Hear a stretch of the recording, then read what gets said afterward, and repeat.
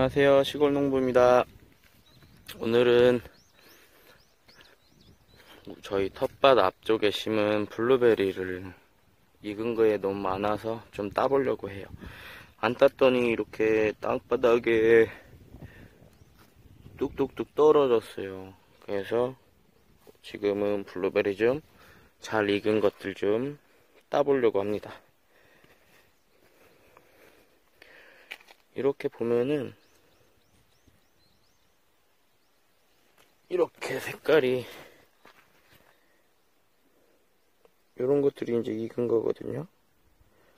원래는 이렇게 초록색인 애들이 점점점 시간이 지나서 이렇게 익어요. 그러면 힘 안 줘도 이렇게 똑 하면은 이렇게 똑똑 떨어져요. 무농약이라서 그냥 바로 먹어도 해가 없어요. 저는 이거를 조금 신맛이 조금 있어서 요구르트에다가 넣고 갈아 먹거든요. 그러면 또 맛있어요. 이렇게 지금 블루베리 나무는 4개를 심었는데 저희 가족끼리 먹기에는 적당한 양이 정말 열려요. 은근히 많이 열려요. 이게 한 나무거든요. 이렇게. 정말 많아요. 거름 주고 하면은 더 열매도 조금 더 크고 많이 열린다고 했는데 거름을 안 줬거든요. 근데 물은 조금 자주 줬어요.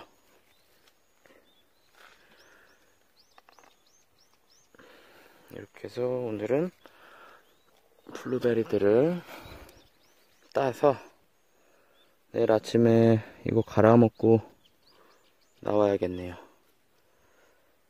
이렇게 원래 정말 조그맸어요. 얘네들도 애기일 때 영상을 찍었어야 되는데 얼마나 하냐면은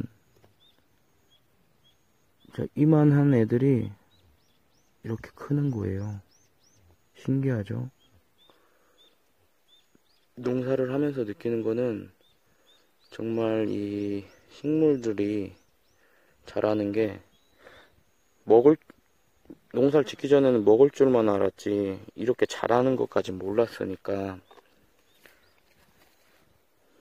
보면은 너무 애들이 신기하고 기특해요 혼자서들 이렇게 막 다 자라니까 이게 꽃이 폈을 때는 벌들이 엄청 왔다 갔다 했거든요, 여기서. 그러니까 벌들이 왔다 갔다 하면서 수정을 해주는 건가 봐요. 그런 꽃잎에서 여는 거고. 와, 얘는 지, 진짜 많이 열렸죠. 옆에 나무도 얘는 또 쭉, 나무 크기는 작거든요? 근데 얘가 진짜 많이 열려요. 얘는 다 익었어요. 이렇게 힘도 안 들어요. 톡톡톡톡 톡톡톡톡. 이렇게.